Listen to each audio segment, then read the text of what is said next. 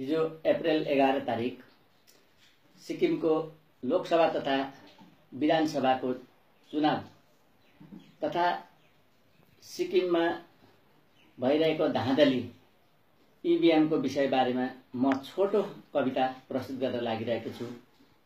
कविताको शीर्षकमा राखी सरासर कविता पढ्न चाहन्छु।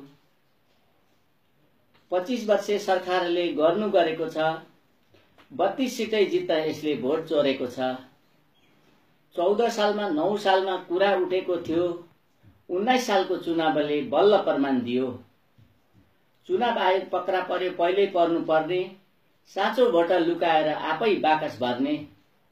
कति बाठा पवन चामलिङ युवा औतारी भोट चोरी मुख्यमन्त्री हुन्छन् घरिघरि कति बाठा पवन चामलिङ युवा औतारी भोट चोरी मुख्यमन्त्री हुन्छन् घरिघरि सुन्नुहोस् षड्यन्त्र यो कति साह्रो भएको? सुन्नुहोस् षड्यन्त्र यो कति साह्रो भएको? टेबल ल्याम्पमा थिच्दा पनि छातै छाता आएको। टेबल ल्याम्पमा थिच्दा पनि छातै मात्र आएको यो षड्यन्त्र इबिएममा पहिल्यैदेखि भएको टेबल ल्याम्पमा थिच्दा पनि छातै छाता आएको यो षड्यन्त्र इबिएममा पहिल्यैदेखि आएको।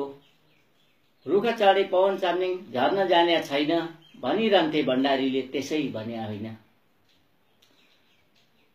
सिक्किममा विपक्षको पहिल्यै सरकार भएको एसडिएफले बाकस चोरी धाँध लियो भएको एसडिएफले जनताको भोटको मूल्य मार्यो विपक्षके आफ्नै पार्टी अलपत्र पार्यो एसडिएफले जनताको भोटको मूल्य मार्यो विपक्षके आफ्नै पार्टी अलपत्र भएको। जय एसकेएम जय सिक्किम जय सिक्किमे जनता।